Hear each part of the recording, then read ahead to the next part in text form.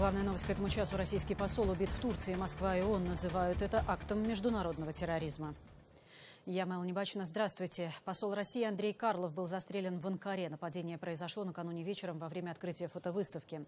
Молодой мужчина достал пистолет и сделал несколько выстрелов в спину Карлову, когда дипломат произносил речь. По сообщениям турецких СМИ, террорист кричал «убирайтесь» и объяснял свое нападение протестом против действий России в Сирии. Он якобы говорил, цитата, «Не забывайте Алеппо, не забывайте Сирию». Очевидцы отмечают, что нападавший не хотел скрываться или прятаться. Позже он был убит полицией. Этот человек стоял за послом и кричал «Аллаху Акбар». Он сказал «Вы убили мирных жителей в Сирии, вам это просто так не сойдет». Он достал пистолет и направил его на посла, а потом на всех остальных в зале. Мы пригнулись в панике. Я видела, как этот человек целится из пистолета, а посол лежит на полу. Выстрелы прозвучали в 19.25 по местному времени. Андрея Карлова экстренно доставили в больницу, но спустя 40 минут он умер. По данным турецких властей, теракт совершил 22-летний Мевлют Мерт Алтынташ. Ранее он два года служил в турецкой полиции, но был уволен после попытки государственного переворота 15 июля. В здании галереи Алтынташ смог пройти с оружием именно потому, что показал старое удостоверение полицейского. Президент России Владимир Путин сразу после произошедшего отменил запланированный визит в театр и встретился с министром иностранных дел России Сергеем Лавровым. Убийство посла Владимир Путин назвал подлым. Совершенное преступление – это, безусловно, провокация, направленная на срыв нормализации российско-турецких отношений и на срыв мирного процесса в Сирии. Ответом на это может быть только одно – усиление борьбы с террором. И бандиты это на себе почувствуют. Российский следственный комитет уже завел уголовное дело по статье о международном терроризме. Из Москвы в Анкару вылетела специальная следственная группа. Она будет расследовать произошедшее вместе с турецкими властями.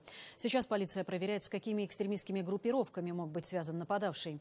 Местные СМИ пишут, что на его странице в Фейсбуке размещены радикальные исламистские видеозаписи, в том числе с призывом отомстить России за происходящее в Сирии.